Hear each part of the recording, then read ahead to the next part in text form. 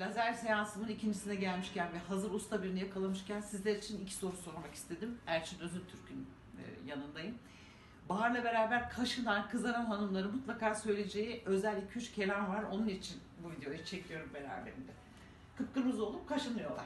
Yani bahar alerjisi dediğimiz hadise e, çoğunlukla e, polen döneminde e, var olduğu toz toprağın kalktığı dönemde e, aşırı duyarlılığı olan kimselerde çoğunlukla ortaya çıkar. Bu göz nezlesinden tut, Heh.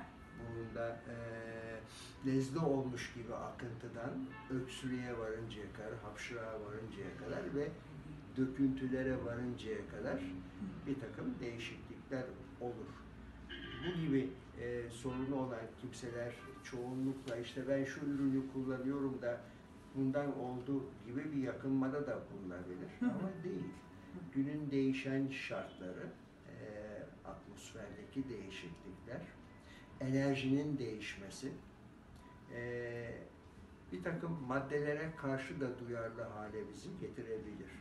E, ben çoğunlukla bu tür alerjik yakınması olan kimselerde bu dönemi geçiştirmek adına anti alerjik bir ilaç almalarını öneriyorum. Çünkü aynı sorunlar bende de var.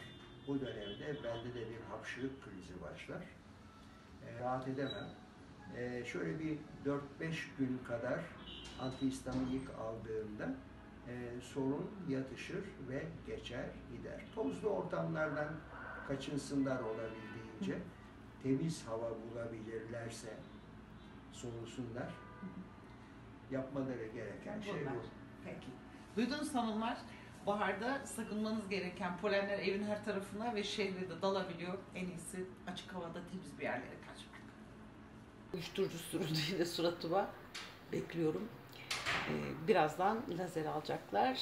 Tam 30 gün oldu. Ee, bugün de e, ikinci seansı tamamlayacağız.